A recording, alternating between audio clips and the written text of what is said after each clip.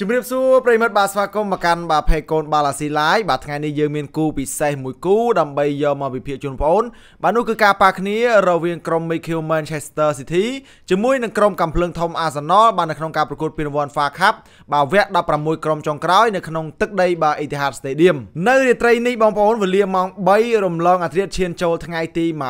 28បាទឆ្នាំ2023នេះតែម្ដង ក្រុមរបស់លោកពេបកាឌីឡានឹងបើកទ្វារកីឡាដ្ឋានបាទ Etihad Stadium ទទួលក្រុមរបស់កូនសិស្សរបស់គាត់គឺបាទលោក Mikel Arteta បាទកំភ្លើងធំ Arsenal វាមិនមែនជាការប្រកួត Premier League ទេប៉ុន្តែវាគឺជាការប្រកួត FA Cup ហើយការប្រកួតនេះយើងនឹងដឹងថាតើក្រុមកំភ្លើងធំ Arsenal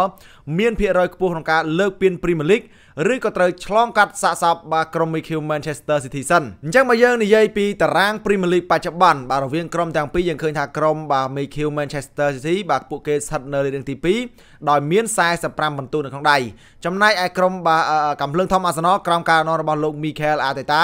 ពួកគេបច្ចុប្បន្នកំពុងតែស្ថិតនៅលេខរៀងទី1បាទកាន់កាប់កំពូលតារាងព្រីមលីកតែម្ដងដោយមាន50ពិន្ទុបាទគឺច្រើនជាងក្រុមលេខ2ហ្នឹងចំនួន5ពិន្ទុឯណោះគូបញ្ជាក់ថាបាទការប្រកួតនេះគឺវាមិនប៉ះពាល់អ្វីទៅដល់តារាងព្រីមលីកនោះទេព្រោះថាវាគឺជាការប្រកួត FA Cup ប្រវត្តិប្រកួតរបស់ក្រុមទាំងពីរបន្តិចបាទសម្រាប់ប្រកួតរបស់ក្រុម BQ Manchester City បាទឆ្លងកាត់5ប្រកួតចុងក្រោយរបស់ពួកគេគឺពួកគេចាញ់2និងឈ្នះ3ហើយចុងក្រោយនេះគឺពួកគេឈ្នះជាមួយនឹងក្រុម Wolverhampton ក្នុងលទ្ធផល3ទល់នឹង0ទៅទៀតចំណែកឯក្រុមកំភ្លើងធំ Arsenal ក្រុមកំភ្លើងធំ Arsenal អត់ទាន់ស្គាល់ពាក្យថាចាញ់ទេបាទ5ប្រកួតចុងក្រោយដោយស្មើ1និងឈ្នះ4ចុងក្រោយបាទឈ្នះជាមួយនឹងក្រុមបិសាចក្រហម Manchester United បាទក្នុងលទ្ធផល3ទល់នឹង2ឥឡូវយើងចូលដល់ប្រវត្តិប៉ះគ្នាវិញម្ដងប្រវត្តិប៉ះគ្នារវាងក្រុមទាំងពីរបាទគឺយើងឃើញថាក្រុមលោកពេបកាឌីឡា អត់ដែលចាញ់ក្រុមបាទកំភ្លើងធំ Arsenal នោះទេបងប្អូនបាទ5ប្រកួតចុងក្រោយគឺអត់ដែលចាញ់ទេណាបាទតាប៉េបប៉ុន្តែបើយើងនិយាយពីស្ថិតិនៃការប្រកួតរបស់ក្រុមទាំងពីរយើងឃើញថា Arsenal បច្ចុប្បន្នគេបាទគេកំពុងតែធ្វើបានល្អជាងតាប៉េបបាទធ្វើបានល្អជាងតាប៉េបប៉ុន្តែបងប្អូនត្រូវចាំពាក្យមួយថាបាទអឺគ្រូមិនដែលចាញ់សិស្សនោះទេហើយគ្រូក៏មិនដែលបង្រៀនក្បាច់សិស្សអស់នោះដែរ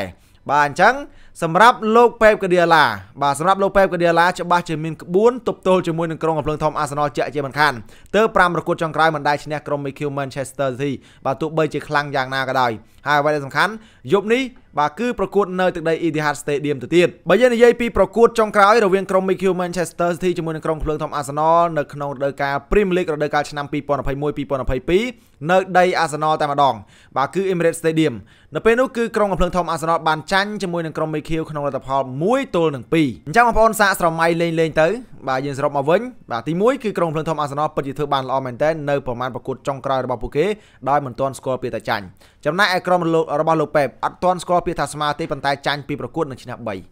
អញ្ចឹងគឺល្អប្រហាក់ប្រហែលគ្នាទេបាទល្អប្រហាក់ប្រហែលគ្នា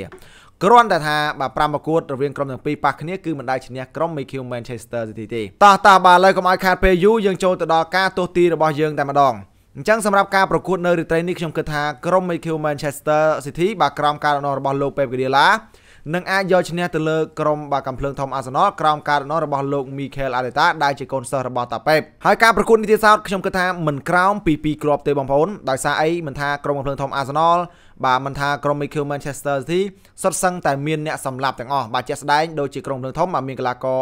បាទអូដេហ្គាតបាទកីឡាករប៊ូកាយ៉ូសាកាបាទកីឡាករបាទកិតិយាជាដើមគឺសុទ្ធសឹងតែជាកីឡាករឆ្នាំឆ្នាំនៅក្នុងក្រុមកំពឹងធំអាសណលចំណែកក្រុមមេឃីវបាទដូចជាកីឡាករអ៊ីលីងហាឡែនបាទ Kevin De Bruyne គឺសុទ្ធតែកំពូលកីឡាករហើយអញ្ចឹងដឹងតែក៏ក្រើកហើយច្បាស់ណាស់គឺមិនក្រោមពី2គ្រាប់នោះទេសម្រាប់ក្រុមដែលរកគ្រាប់បាល់បានមុនខ្ញុំគិតថាជាក្រុម Mikel Manchester City បាទហើយអ្នកដែលរកគ្រាប់បាល់បាន គឺជាកីឡាករ Erling Haaland នេះឯងអញ្ចឹងសម្រាប់ការប្រកួតនៅរាត្រីនេះខ្ញុំគិតថាបាទក្រុម Mikel Manchester City នឹងអាចយកឈ្នះទៅលើក្រុមបាទកំភ្លើងធំ Arsenal ក្នុងលទ្ធផល3ទល់នឹង2បាទ3ទល់នឹង2 បាទនេះគឺគឺជាការទស្សន៍ទាយរបស់ខ្ញុំតែប៉ុណ្ណោះចុងបងប្អូនគិតថាបាទសម្រាប់ក្រុមទាំងពីរតើមួយណានឹងអាចទទួលបានជ័យជំនះនៅក្នុងការប្រកួតពានរង្វាន់ FA Cup វគ្គ16ក្រុមនេះបាទអាចធ្វើការ comment នៅក្នុងវីដេអូនេះបានអរគុណបងប្អូនបាទសម្រាប់ការតាមដានទស្សនាការវិភាគរបស់ខ្ញុំយើងជួបគ្នានៅការវិភាគក្រោយៗទៀតបាទជម្រាបលាកុំភ្លេចជួយ follow បាទនិងដាក់ cipher ទៅលើ page កូនបាល់ C Live ម្នាក់មួយផងជួបគ្នានៅវេលាម៉ោង3រំលងទៀត